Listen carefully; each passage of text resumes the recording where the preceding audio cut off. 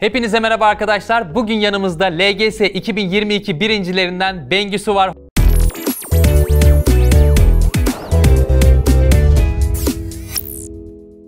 Hoş geldin Bengüsü. Hoş bulduk. Nasılsın öncelikle? İyiyim. Sizler nasılsınız? Biz de gayet iyiyiz. Seni böyle sosyal medyada gördük. Baban da seninle gururlanmıştı. Dedik ki kim bu Bengüsü bir tanışalım dedik. Sen de bizi kırmadın. Teşekkür ederiz. Ne demek?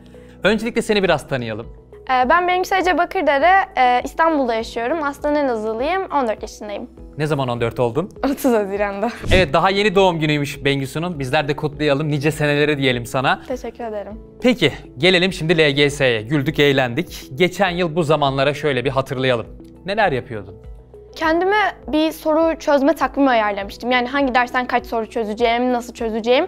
Aynı zamanda konu bazlı da çalışmaya başlamıştım. Biraz konuları eritmek istiyordum. Peki e, bunu nasıl yaptın? Yani bu programı nasıl uyguladın kendi başına? Zamanla aslında oturdu bu. Yani hangi dersten ne kadar çözeceğim. Aynı zamanda yeni konular yani burada şu an Tonguç'ta olduğum için değil Tonguç'tan çok yararlandım. Yani sıfırdan 8'e kitabı özellikle ve aynı zamanda YouTube kanalına yeni konuları bitirmemde yardımcı oldu. Birinci olma hedefin sene başında belli miydi yoksa zaman içerisinde mi belli oldu? Belliydi hatta yani tabii ki bir okul hedefim vardı ama okul hedefin dışında birinci olmak istiyordum. Yani hani o ünvanı erişmek istiyordum. Onun için canla başla çalıştım yani. Nasıl geldi bu motivasyon? Nereden aklına geldi? Videoları gördüm. Yani çoğu kişinin gerçekten güzel bir ünvan gibi geldi. Çünkü çalışmanın ve azmin en somut ödülü olarak gördüm ve ben de erişmek istedim yani. Aslında o birinci videoları biraz da sana motivasyon olmuştu. evet, Ne tabii kadar ki. güzel, ne kadar güzel. Peki LGS'ye hazırlanırken bir gününü düşünecek olursak, mesela okul gününü düşünelim. Bir okul günü nasıl geçiyordu? 7 7 çeyrek gibi kalkardım. İşte kahvaltı yaparım, üstümlerim, klasik şeyler. Okula bir arkadaşımla beraber giderdim. Okulum 8.50'de başlar, 15.50'de biterdi. 5 gibi evde olurdum. Hani yemek yeme faslı falan. 6'dan akşam 11-11.30'a kadar çalışıp sonra da uyurdum. O süreç içerisinde mola veriyor muydun? Matematik için matematik bitince 15 dakika ara e, veriyordum ama diğer derslerde 5-10 dakika arası. Peki yine sene başını düşünecek olursak bu demin programından bahsettin ya. Bu programının içerisinde kaç soru vardı mesela günlük? İlk başlarda gerçekten azdı. 150 vesaireydi çünkü matematik yeni nesil gerçekten çok zorluyordu. Yani 15-20'yi bile hani gözlerim kan çanağına dönüyordu artık onları çözeceğim diye. Sonra zamanla soru hızım arttı, tarza alıştım ve gittikçe arttı 50'leri 60'ları gördü Yani sonunda. günde 15-20 matematik çözüyordun. Evet Doğru. başlarda. Gayet iyi bir soru sayısı. Peki senin kendine has çalışma tarzın var mıydı? Diğer insanlardan belki farklı olarak. Yani aslında bunu sınav olarak düşünebilirim. Ben sınavda bir soruda takıldığım zaman kendimi tamam sakin ol deyip sevdiğim bir şarkı içimden mırıldanıyordum.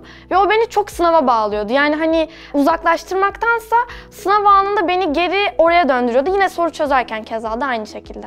Yine müzik bir yerde karşımıza çıkıyor. Geçen Evet. yıl ada arkadaşımız da aynı şeyleri yapıyordu. Peki denemelerde nasıldın? Başlarda 2-3 yanlış civarıydım.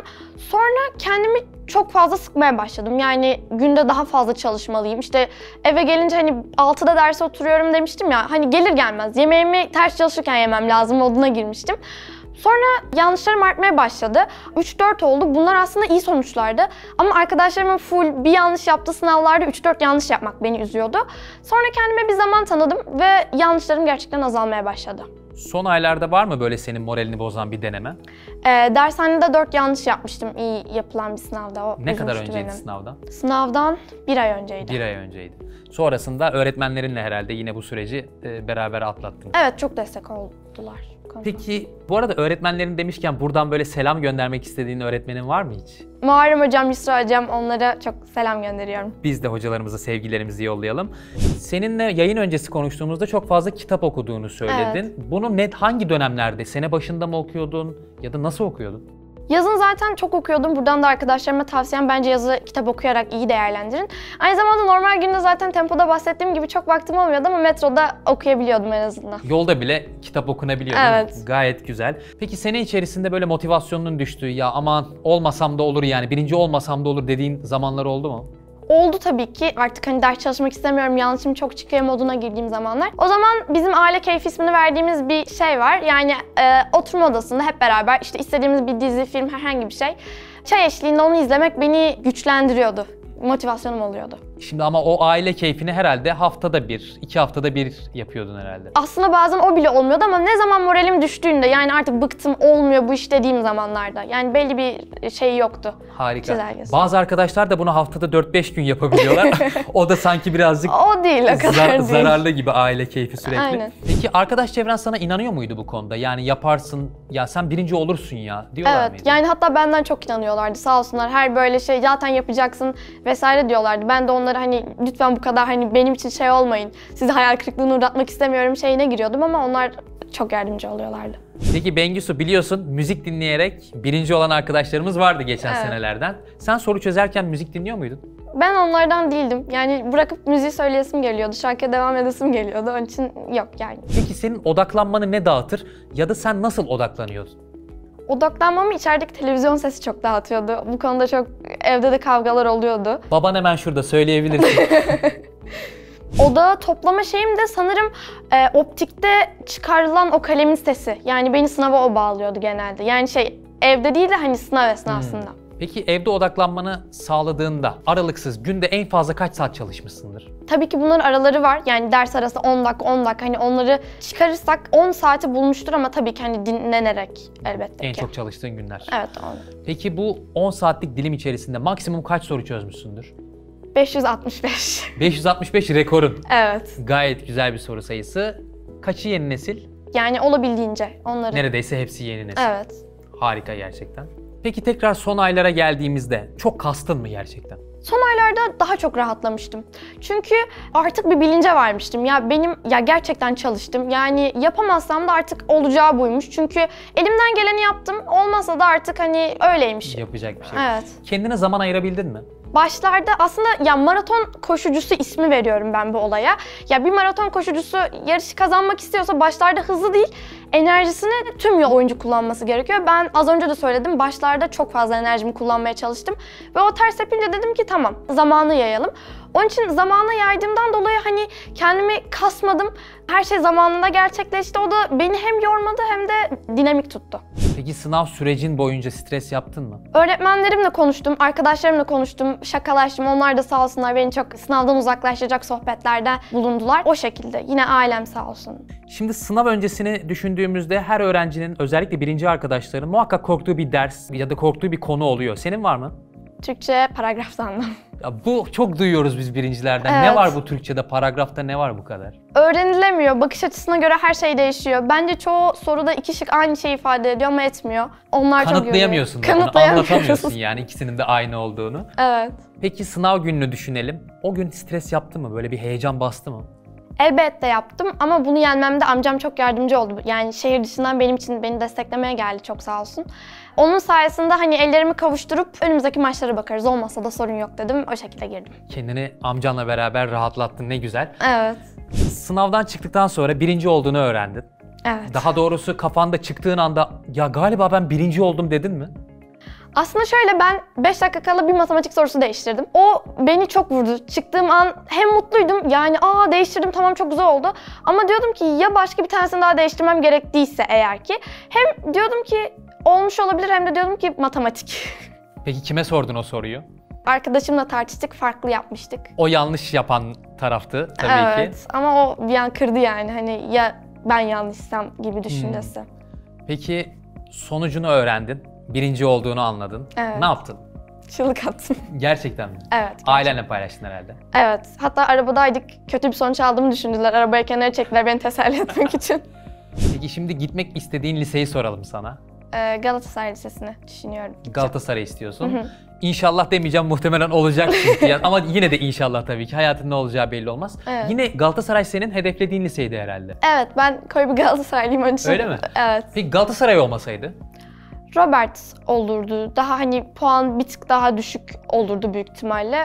Ondan dolayı. Hayalindeki meslek, gelecekte yapmak istediğin meslek ne? Ee, hukuk okumak istiyorum aslında. Eğer hani işimde iyi olabilirsem umarım e, uluslararası davalara da bakmak istiyorum. Oo inşallah diyelim. İnşallah. Matematik konusu Türkiye'nin kanayan yarası. Yetişkininden gencine kadar. Sen bu olayı nasıl çözdün? Aslında videonun başında dediğim gibi başlarda gerçekten az soru çözüyordum. Ya tüm günümü alıyordu ve yanlışım da çok çıkıyordu. Ama bu aslında bence birazcık da pratik ve e, dediğim gibi yazın kitap okumakla ilgili soruyu anlamak zaten başlı başına bence bir problem. Anladıktan sonra zaten gerisi geliyor. Ee, aynı zamanda konuyu öğrendikçe, soru gördükçe zaten bir süre sonra sorular kendini takip etmeye başlıyor. Bu şekilde yenebileceklerini düşünüyorum ama asla hani başlarda olmuyor gibi bir korkuya yer vermemeliler bence. Peki Bengisu yapamadığın sorular olduğunda ne yapıyordun o soruları? Geçiyordum elbette. Bunu bir sınavda yanlışlıkla bir sorunun Türkçe'de üstüne 10 dakika düşündüm ve gerçekten zamanım kalmadı. Bir Boş bırakmak zorunda kaldım matematikte bir soruyu. Denemede mi? Evet denemede. Onun için hani dedim ki sonra geri dönüldüğünde her şey çok daha rahat hallediliyor. Daha sakin bir kafa oluyor. İnatlaşmadım, direkt geçtim. Yani çok daha rahattı. Normal test çözerken yapamadığın sorular olduğunda o soruyu hocana mı soruyordun, kendin videosunu mu izliyordun, nasıl hallediyordun? Videolu çözümlerden çok anlamıyordum. Gerçi anlıyordum ama bazen soru içerisinde sormak istediğim başka şeyler de oluyordu. Peki hani şunu nasıl çözdünüz gibisinden. Onun için okulda teneffüs aralarında olsun, hani kurs merkezinde olsun hocalarıma sormaya çalışıyordum sorularımı. O şekilde hallettin soruları. Evet. Peki hata defterin gibi bir şey var mıydı yoksa? Onu yapmaya çok çalıştım ama yanlışları gördükçe çok moralim bozuldu vazgeçtim. O da senin tarzımış. Genelde arkadaşlar hata defteri tutuyorlar. Evet. Ama bir yandan da düşününce evet kara bir delik gibi yani orada bir sürü yapamadığın soru var. Sınavdan çıktıktan sonra tabii ki mutlu oldun ettin ama böyle sene boyunca bir hedef vardı, amaç vardı. Artık elde bir amaç kalmadı, bir boşluğa düştün mü? Aslında çok kişi boşluğa düşeceksin vesaire söyleniyordu zaten. Ama ben önümde boş bir sayfa gördüm. Yani bir sürü sene boyu yapmak istediğim hani alıp okuyamadığım kitaplar onlara odaklanmak istedim. Yani tabii ki bir boşluk oldu. 2-3 gün sürdü ama yani bir haftadan sonra artık devam etmedi o. Kendim mutluydum yani. Çünkü artık bir yaz tatili var Evet. ve önünde yapacak bir sürü şeyin vardı. Harika. Yaz tatili planların neler? E, memleket sonra belki bir Deniz, kum, Antalya güneş gibi. Aynen. diyorsun. Artık bir hak ettik diyorsun yani. Evet. İnşallah. Peki şu an seni izleyen ve henüz yolun başında olan 8. sınıfa geçen arkadaşlara ne tavsiye edersin? Stres yapmamaları bence çok önemli bu konu hakkında. Kendilerine güvensinler. Güven bence en önemli şey. Aynı zamanda sorular gerçekten açık. Ben dediğim gibi Türkçeden korkuyordum. Lütfen siz korkmayın. Sorular anlaşılacak düzeyde. Asla yapılamayacak bir şey yok. Bence gerçekten azimle bunu başarabilirsiniz. Size inanıyorum. Sana hayatında başarılar diliyoruz. Lise hayatın inşallah ortaokuldakinden de güzel olur. Aynı zamanda bizi izleyen arkadaşlara da aynı şekilde aynı dileklerimizi gönderiyoruz. Katıldığın için çok teşekkür ederiz. Çok teşekkür ederim.